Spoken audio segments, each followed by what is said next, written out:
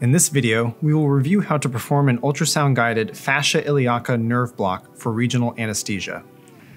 The fascia iliaca nerve block provides anesthesia to the anterior thigh and leg, as well as the proximal femur, and has the greatest utility in the emergency department for analgesia in the setting of a hip fracture.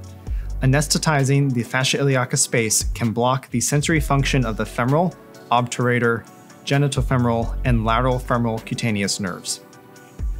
These are the essential elements for performing an ultrasound guided fascia iliaca block.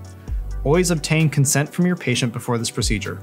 Pertinent risks include bleeding and pain, infection, and damage to local structures. Do not perform the procedure if the patient has had a previous femoral bypass surgery or has an infection at the injection site.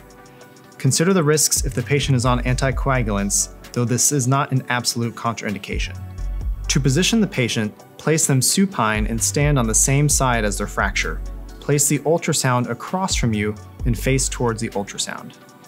The fascia iliaca is a layer of fascia on the surface of the iliacus muscle, which is the lateral portion of the iliopsoas. This fascial layer is a potential space and can be zippered open with fluid. First, place the ultrasound just below the inguinal crease and identify the femoral vessels, including the femoral artery and vein you can utilize Doppler ultrasound to confirm the placement of these vessels. Then identify the femoral nerve lateral to the femoral artery. The fascia iliaca is lateral to these vessels.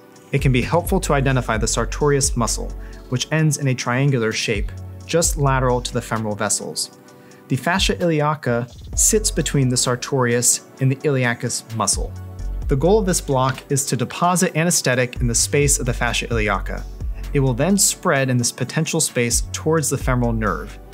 You can also deposit the anesthetic below the fascia to spread towards the femoral nerve. By depositing the anesthetic in this space, it allows us to safely keep the needle away from the femoral vessels while achieving nerve blockade. Prepare to do the fascia iliaca block. Draw your anesthetic of choice using an 18 gauge needle into your preferred syringe. We generally recommend about 20 cc's of anesthetic, but be sure to calculate the maximum dose for your patient's weight. Prepare the skin over your intended site with chlorhexidine. Cover the ultrasound probe with a sterile probe cover and apply sterile gel.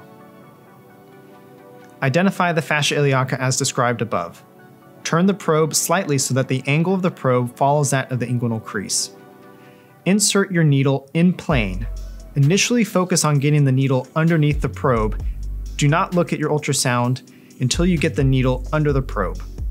Then identify the needle tip on your ultrasound and advance the needle towards the fascia iliaca. You will often feel two tactile pops, once through the sartorius and second through that fascia iliaca space. You can inject 1 to 2 cc's of anesthetic to hydrolocate your needle and to ensure proper location. You can reposition the needle if the anesthetic is above the fascia or in the muscle.